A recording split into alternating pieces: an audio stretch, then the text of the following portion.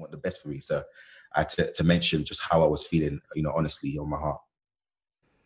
John Boyega there talking to, uh, who was he talking to? Colin Paterson, that's right. now, we've got, we've got some stunning footage of the Northern Lights to show you. Get the camera off me quickly. Uh, the spectacular display was captured by photographer and astronomer Matt Robinson in Norway last night.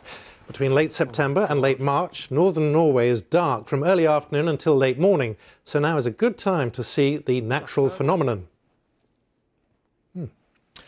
Now, a, a British musician has been playing the piano to monkeys at historic sites in Thailand to raise awareness of their hunger.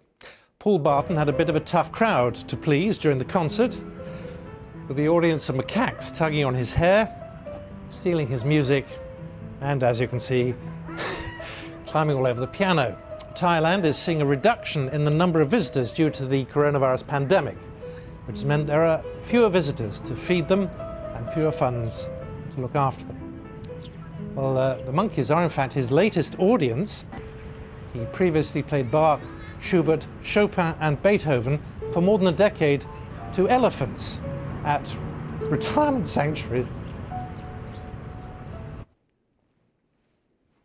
The weather, Matt Taylor. Hello. Well, a frosty morning some of you experienced today.